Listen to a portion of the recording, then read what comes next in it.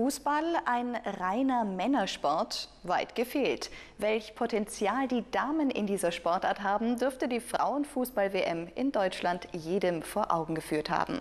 Bei uns in Südtirol gibt es natürlich auch Frauenfußballmannschaften, beispielsweise den CF Südtirol. Die neue Mannschaft für die Saison 2011-2012 wurde heute Vormittag in der Brauerei Forst vorgestellt. Die neue Meisterschaft der Serie A2 im Frauenfußball beginnt am 9. Oktober in Padua. Die neue Mannschaft des CF Südtirol ist gerüstet. Sie präsentierte sich heute erstmals der Öffentlichkeit. Ort des Geschehens, die Brauerei Forst. Und das war keineswegs Zufall, denn es gibt einige Berührungspunkte. Die traditionsreiche Brauerei ist ebenfalls fest in Frauenhand und unterstützt die Fußballerinnen seit der ersten Stunde. Wenn eigentlich der Damenfußball überhaupt nicht bekannt war in Südtirol, hat die Firma Forster eigentlich vom ersten Moment an äh, diese Mannschaft unterstützt und äh, tatkräftig unterstützt. Und ich glaube, äh, wir müssen der, der, Firma, der Frau von Meinstein besonders bedanken, uns bedanken, dass sie an uns geglaubt hat und uns dieses Vertrauen geschenkt hat.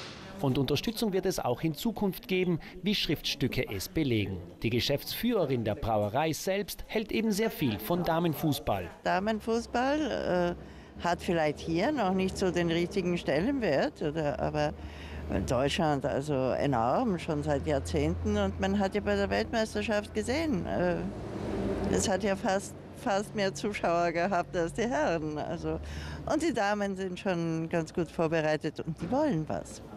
Der CF Südtirol will in der neuen Saison ganz vorne mit dabei sein. Leider war der Ausflug in die Serie A nur von kurzer Dauer. Dafür ist die Chance zu überzeugen in der zweithöchsten italienischen Liga noch mal größer. Die heutige Saison ist neu, wir spielen in der A2, wir haben äh, sicherlich äh, Ambitionen, irgendwann einmal wieder hinaufzukommen, sobald das möglich. Und ich glaube, wir haben sicherlich die Möglichkeiten und äh, die technischen Voraussetzungen, dass wir ganz, ganz vorne mitmischen können.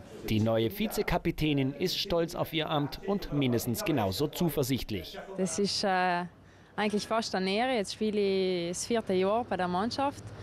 Und äh, es ist eine tolle Erfahrung, weil äh, mit der Alessandra Tonelli, der Kapitän ist, äh, ist eine gute Zusammenarbeit da und äh, sind wir gespannt.